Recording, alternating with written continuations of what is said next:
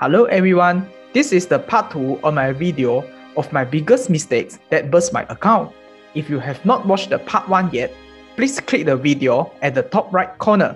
In this video, I will be sharing my most common mistakes which lose my money consistently and the mistake that burst my account for more than 70% in the short term.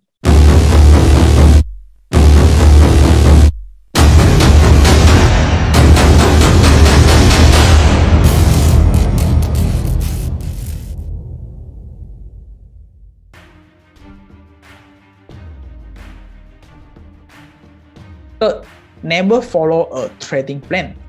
When we buy a stock, we need to have a plan on it. Why you buy this stock? Is it based on fundamental or technical entry? What is your target price? What is your time target? How much can you afford to lose this trade? To be honest, I'm still practicing myself to follow my trading plan properly. Use NVDA as an example. On December 7, I made an entry after it breaks the previous high as a momentum play. My target was to take a quick profit after writing the momentum. A few days later, indeed, it hits to another all-time high. Did I run? No. I'm greedy and hope to write more profit. I remove my profit target, first red flag. I even remove my trailing stop loss, second red flag. Then it plunged my profit all gone and I suffer a loss. Did I get out of this position? No. I told myself, this is a good stock to invest in long term. Third red flag. Does this sound familiar to you? Now, my trading plan changed from momentum play to investment play. Yes, it bounced back again, but do you think I took the profit? You should be guessing right, I did not. As my mindset is shifting to investment, and I want to just ride on it However, in fact, this stock does not meet my criteria to invest in. The market then taught me a lesson again. It kept plunging. Then I have decided to cut the loss and learn the lesson. Reverse can be pain as well. I bought Fortinet FTNT in December as it was undervalued and meet all my investing criteria. I plan to invest for long term. It was consolidating for quite a while. While it broke out, FTNT gains its momentum I was happy to see the profit is rising. But when it dips from $196 to $170, I feeling panic as I worry that all my profit will be gone. I decided to close the position. To be honest, it is still a good trade, but my original plan was to buy whenever there is a dip, as long as it is still below its intrinsic value. I saw it because of the big red candle, not because of the trading plan. The market then taught me a lesson by keep letting me to see Fortinet hits new highs again and again. After these lessons, I know that I can be right for the direction and the right stop. But if I could not control my emotion, greed or fear, I will still lose money. Discipline and follow the trading rule is utmost important to protect us. Market maker and big players will always gyrate the market to milk from our retail investors. Many people lose in market because they lose confidence and become impatient and quit and never return again. Use a quote from Warren Buffett. The stock market is a device for transferring money from the impatient to the patient. To keep myself disciplined and follow the trading rule, I told myself to bring me out from the comfort zone to create a community to discuss my investing plan and strategy, and even my trade on both Telegram and YouTube.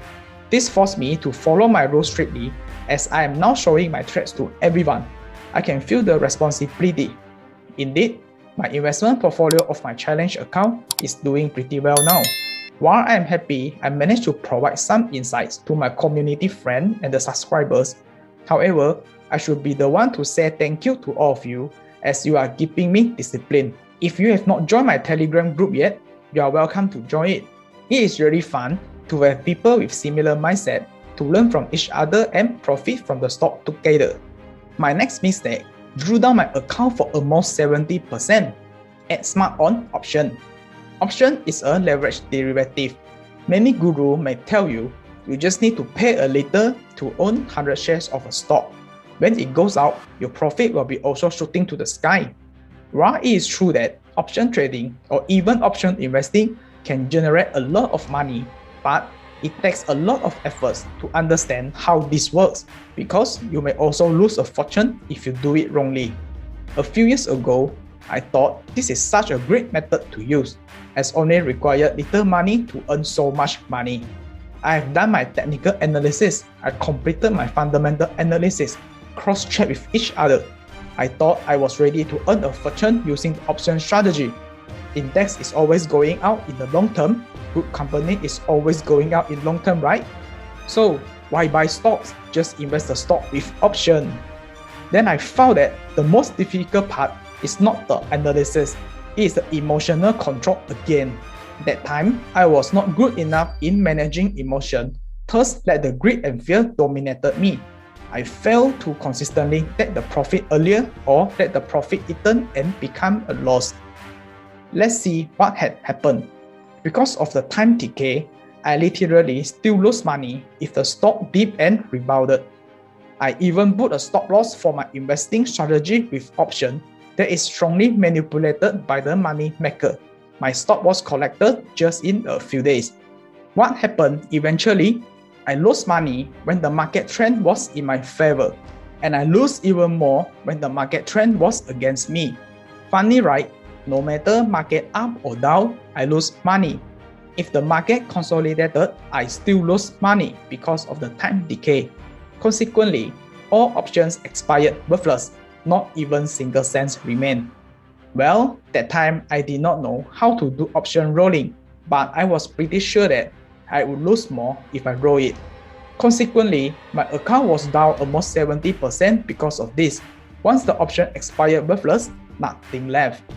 Lesson Do not simply play option or any instrument that we do not know how it works. Option is one of the most complicated tools as we need to understand the Greeks premiums, volatility, and others. Hope my video today could help you to avoid the mistake that I've made that in total cost me more than 5 figures. Learning from other mistakes are also one of the ways to profit from the market. What is your biggest mistake that you have encountered and what have you learned from the mistake?